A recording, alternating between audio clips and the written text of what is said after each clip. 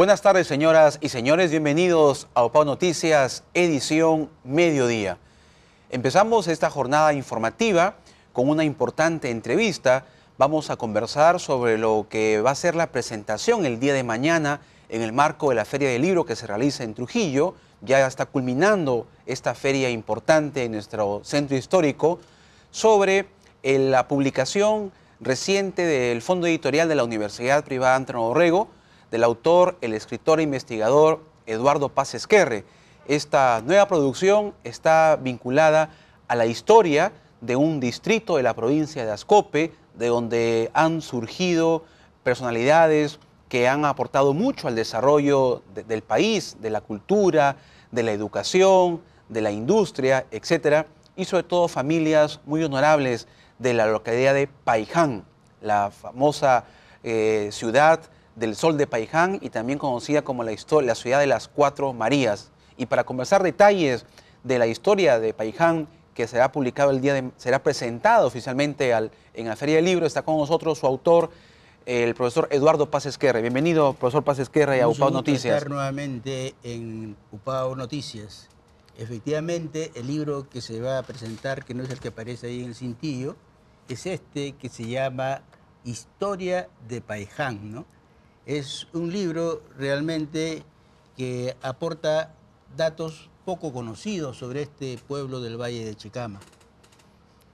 En ese sentido, eh, se trata de una investigación de documentos del siglo XVI, siglo XVII, que eh, aclaran información falsa que ha habido circulando en el pueblo de Paiján. cuáles, por ejemplo? Por ejemplo, resulta que desde la década del 80 en Paiján se ha venido celebrando el, 8 de el 10 de noviembre de 1540 como fecha de la fundación de Paiján. Y los apareció inicialmente en los programas de las fiestas patronales del Señor de los Milagros, y de ahí se ha ido copiando ese dato, que es un dato falso, y realmente hasta que por el año 1999 yo tenía, había descubierto documentos donde esa fecha no era real. Y me, eh, le a un amigo de Paiján, Lucio Capristán de esa, y él me invitó en la semana jubilar en que se celebraba esa fecha a dictar una conferencia sobre los orígenes de Paiján en Paiján, y ahí les hice ver que esa fecha no era real. O sea, estaba errada esa fecha. Estaba errada. ¿Usted ha validado contrastado esa información? Con documentos que realmente eh, la fundación de Paiján no fue en esa fecha y se le atribuían al, encomendero Diego de Mora. Eh, cuando viene Pizarro, eh, él comienza el 5 de febrero, el 5 de marzo de 1535, después de fundar Lima, viene a Trujillo a convalidar la fundación de Trujillo, la Fundación Española de Trujillo, y en el acto de la ceremonia reparte las encomiendas a, su gente allegada a él. Y entre ellos a Diego de Mora le otorga la encomienda de Chicama. Y unos dos o tres años después le, otorga en el Valle de Chicama a otro soldado, a otro capitán llamado Francisco de Fuentes, la encomienda que él llama del Icapa. En la mentalidad de los españoles de esos años iniciales, en lo que para nosotros es un solo valle, para ellos era dos valles. El valle de Chicama, que está un poco de Chocope para acá, y el valle del Icapa, que era de un poquito más de Chocope hasta Malabrigo. Entonces, por eso que cuando uno revisa los documentos del siglo XVI, aparece ahí firmado, dijo, en el valle del Icapa, no sé cuánto, y otro aparece firmado, en el valle de Chicama. había generaba confusión. Generaba confusión, ¿no? Y es en la encomienda de Francisco de Fuentes, en, el Valle del Icapa, eh, en donde aparece, se va a construir una, se va a dar una, el cumplimiento a una ordenanza que dan en Lima, procedente por un mandato de España, es que los indios que vivían dispersos debían, había dificultad para encontrar a los indios, llevarlos a los trabajos, para catequizarlos o para cobrarles el tributo de un impuesto, entonces se ordena que se creen las reducciones. La reducción es obligar a que los indios vayan a vivir a un sitio y formen un pueblo. Claro. Entonces así es como se funda la reducción de Paiján en el año 1566 por orden del oidor Francisco de Fuentes, que viene especialmente a crear los pueblitos de, indios en el Valle de Chicama y también acá en el Valle de Claro, ahora, Paiján es una ciudad, es un distrito eh, que tiene mucha historia y, usted lo está corroborando con esta investigación que ha hecho. Y el origen del Señor de los Milagros, que es el patrón de Paiján, ¿no es cierto? Se dice que lo encontraron unos pescadores en, esta playa, la que luego denominaron la playa del Milagro de Paiján. ¿Qué, tan cierta es esa historia que le encontraron en unos baúles a este, a este Cristo?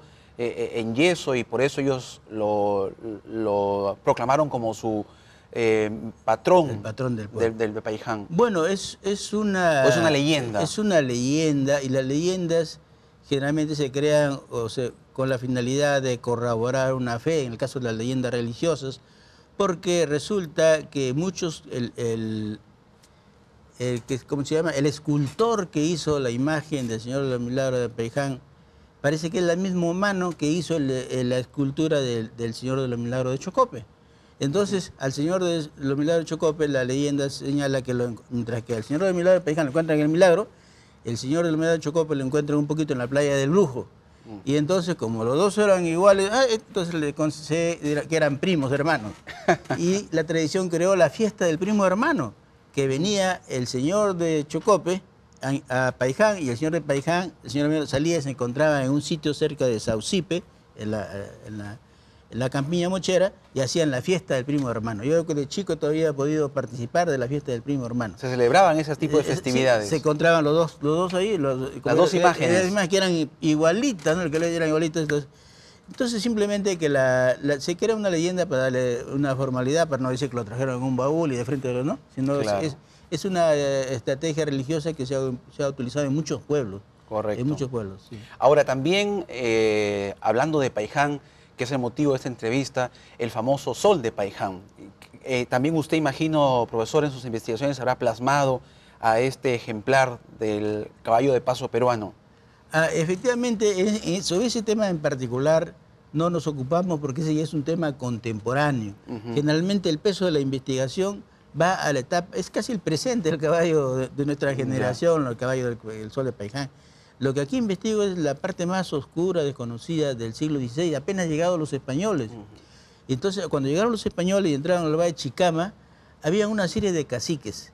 Y, y, eh, la investigación permite, se hizo una ordenanza, eh, una, perdón, un- hubo un problema de un juicio y se, llamó a los caciques más viejos, se les reunió y que querían saber dónde era la tierra de un cacique de Malabrigo llamado eh, Guamampingo. Y eso, ah, todos los caciques viejos hablan y, y permite, ha permitido reconstruir cómo, era, cómo estaba organizado el Valle de Chicama antes de que vengan los españoles. Ese es un detalle muy interesante, ese documento que se ha encontrado. ¿Y cuál es el dialecto, profesor, que hablaba en esa época Bueno, el- en la lengua que se hablaba en el Valle Chicama, que era la lengua que se hablaba en el norte también, era el mochica. El mochica. Pero también se sabe que en el Valle Chicama y acá en el Valle Trujillo también se hablaba otra lengua que era el Quimnam. El Quimnam, llamada también una lengua de los pescadores. Se decía que los pescadores tenían una lengua, pero después la palabra Quimnam, que es la palabra con que un cronista, Antonio de la Cala- Calanche, lo denomina, en realidad las investigaciones modernas han llegado a la conclusión de que se trata de la misma lengua que, que otros cronistas llaman la lengua pescadora. Y en el Valle de Chicama se habría hablado las dos lenguas, el mochica y la lengua pescadora.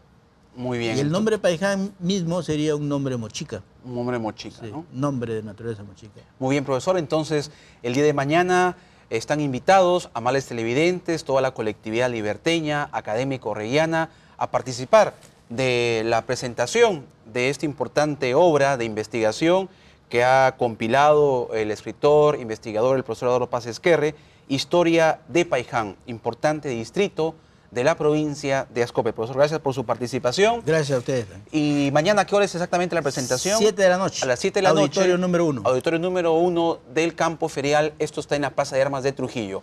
Pausa y regresamos en UPAN Noticias, edición mediodía.